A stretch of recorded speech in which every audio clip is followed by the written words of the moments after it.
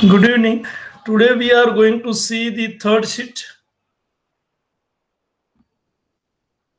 Now in this we are going to again divide a sheet into four parts. So first part we are with uh, plan front elevation and side elevation of slab base. Then plan front elevation and side elevation of gusset base, gusseted base. We have actually this is unit number three. Then we have to plot figures that is effective area of base plate. And then we have figure 10, which is for your laced column, and figure 11, which is for your batten column. So this part already we have covered just in compression members. And these actually are related with your uh, basis, relate with your steel structures. So that we are going to study in unit number three. So now we have plan front elevation and side elevation. So we have elevation in this and you can see plan of this. So you can have this ISMB or ISMB or you can say beam. And then we have these as cleat angles. So these are just provided to keep this beam straight. These are not designed for any load. Then we have this uh, cleat angle here you can see we have this as slab base or we can say it as base plate. And then we have this as RC slab. So this is your uh, elevation this is your plan.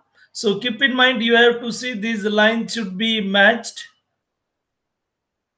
And then we have side elevation. So in side elevation so if you rotate it 90 degree and then you can see this we have this distance that is equal to this distance. And then we have this as cleat angle. We can see over here, we have cleat angle. Uh, so these are your anchor bolts. So these are used only to uh, keep your base plate the, to key, to connect your angle, cleat angle with uh, slab base plate and that is with slab. And this base plate we are going to uh, your uh, cleat angle is going to connect with your beam. So likewise, we have this one. So these boards, we are not going to design for any loads. Then we have uh, gusseted belts So in this, we have this as gusseted belts So this is your gusset plate. This in some book they are going to say this as gusset angle. So you have to write it. And then we have this is cover plate for beams. And this is your beam section. You can see in plan, it will be very clear with the plan. So this is ISMB, this is your cover plate. This is your gusset So we have this will be beam.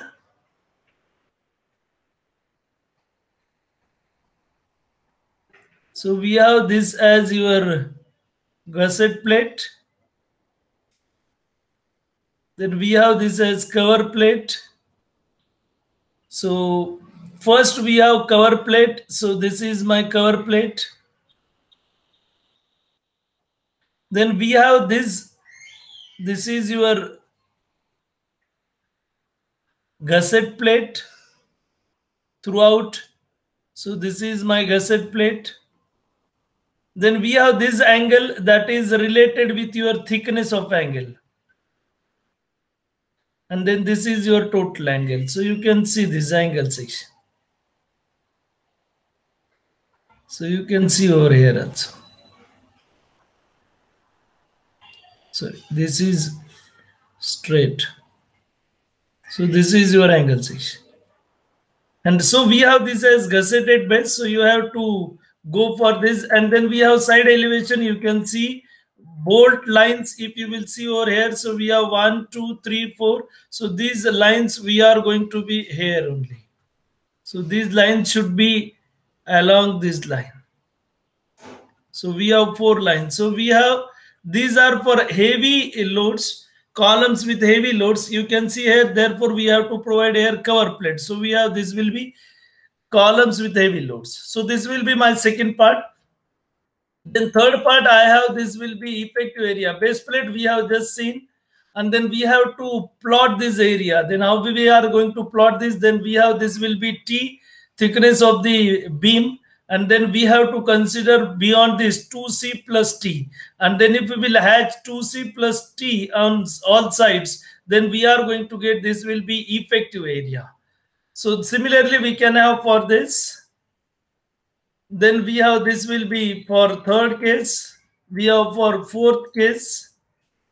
Then fifth we have and then we have likewise.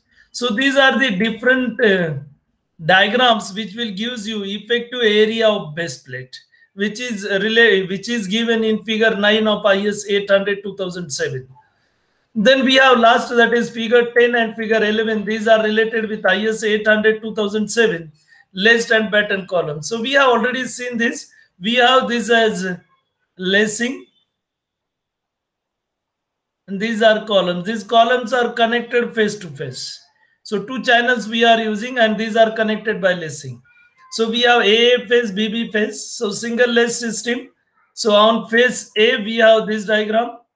And on phase B, we have this. You can see this is mirror image of this. So if we will put over here, then we are going to get this uh, connection lacing with channel on this side and this is on opposite side. So we have exact mirror image of this when we will talk about single laced system when we will talk about double lace system, then in that case, actually, we have lacing that is on both sides.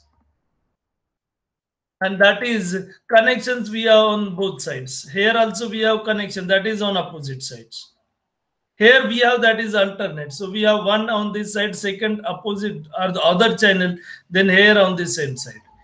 Then we have for uh, uh, phase A and phase B. So we have same one and then we have last that is batten column section. So we have these are battens. We have already seen this also channel face to face. And then we have this will be connection by boards. And we have this will be column with battens. So these are the uh, diagrams which you have to plot in sheet number three of design of steel structure. So thank you. Today we will stop here only. Next time we will see the sheet number four. Thank you.